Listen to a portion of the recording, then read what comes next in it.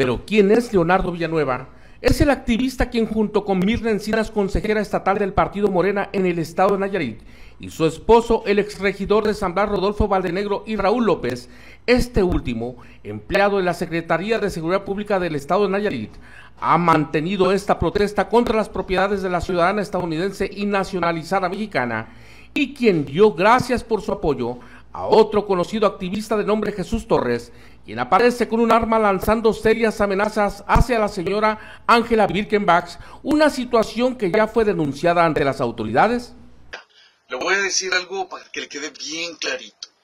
No por ser nosotros activistas, ¿verdad? Nos vamos a quedar con los brazos cruzados cuando alguien nos amenaza, cuando nuestra vida está en peligro. Nos pueden ofender, nos pueden decir revoltosos, nos pueden decir huevones, nos pueden decir grilleros, nos pueden decir como quieran.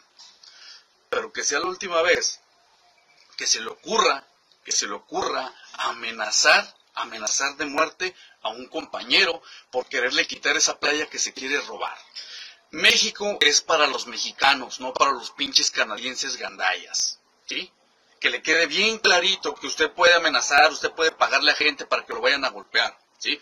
Pero tenemos un lema, los activistas, tenemos un lema y es, tocan a uno, nos tocan a todos.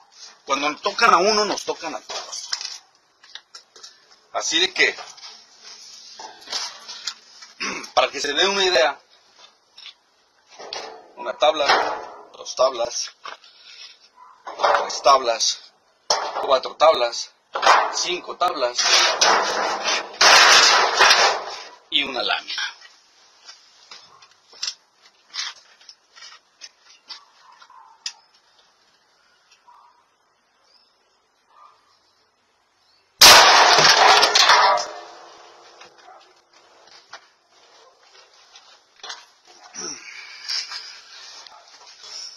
Si usted cree tener la piel más gruesa que todas estas tablas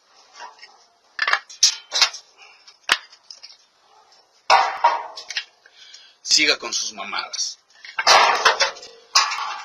Leonardo Villanueva es quien por lo pronto decide quién entra o quién sale a estas propiedades, manteniendo el control total de esta protesta y se le acusa de ser quien ordenó el corte de la energía eléctrica hacia estas propiedades.